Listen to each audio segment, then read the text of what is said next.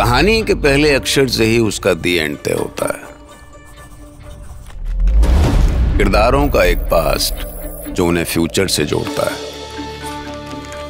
कुछ की अपनी परछाई भी उन्हें पहचान नहीं पाती।